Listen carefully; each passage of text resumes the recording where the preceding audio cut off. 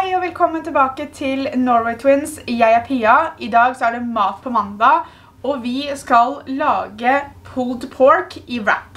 Hva vi skal ha til, det går vi gjennom litt senere, men nå først så skal vi ta for oss selve oppskriften på pulled pork, for dette det skal lages i slowcookeren, og det kommer til å ta litt tid. Så det du trenger, det er en halv kopp barbecue-saus, en fjerdedels kopp eplesidereddik, en fjerdedels kopp kyllingfond, tre hvitløksfedd som er knust, en halv spiseskje chilipulver, en halv spiseskje Worcestershire-saus, Worcestershire. en halv spiseskje sennep, to spiseskjeer brun sukker, litt olje og finhakka løk. Og så trenger du kjøtt. Oppskriften vi bruker har Guro forandret litt på på internett, så eh, vi har til 1,8 kilo kjøtt. Kjøttstykket vi har er på ca. 1,5, så vi kommer til å få litt mer saus, men vi, overlever det. Jeg har satt på slowcookeren på høy, og nå skal vi begynne å ha oppi ting. Et par ting om ingrediensene våre. I oppskriften sto det ett fedd hvitløk. Jeg og Guro driver ikke med sånt, så vi har tatt tre. Og det sto en halv ekstra stor løk. Vi hadde ikke noe ekstra stor løk, så vi har brukt to små løk. Det kan hende de er litt mer enn det som trengs i oppskriften, men igjen, det gjør ingenting. Det første vi skal begynne med nå er litt olje i crockpotten. Det måler jeg ikke opp, jeg bare tar cirka en spiseskje. Og så skal vi ha oppi resten av ingrediensene. Da tar vi barbecue-saus.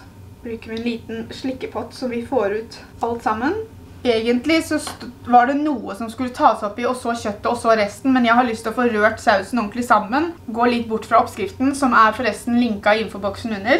Så er det eplesidereddiken oppi, kyllingfonden, sausen jeg ikke klarer å si, Worcestershire-saus. Worcestershire.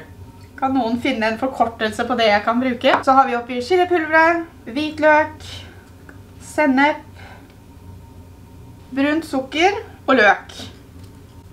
Og så rører jeg det sammen, og allerede nå så ser det egentlig fryktelig godt ut. Så legger vi oppi kjøttbiten.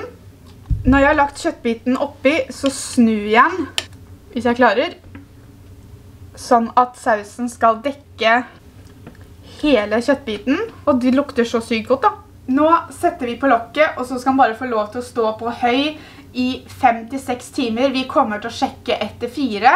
men nå er det egentlig bare å la den stå og lage seg selv, og så kan vi gjøre andre ting, og så kommer vi tilbake. Etter fem timer så ser det sånn ut. Nå skal vi ta og dra kjøttet fra hverandre. Jeg bruker to pasta sleiver, for jeg hadde ikke lyst til å skrape med gaffler oppi bollen. Du kan jo se hardt på det, og så detter det fra hverandre, så dette her er jo så fantastisk.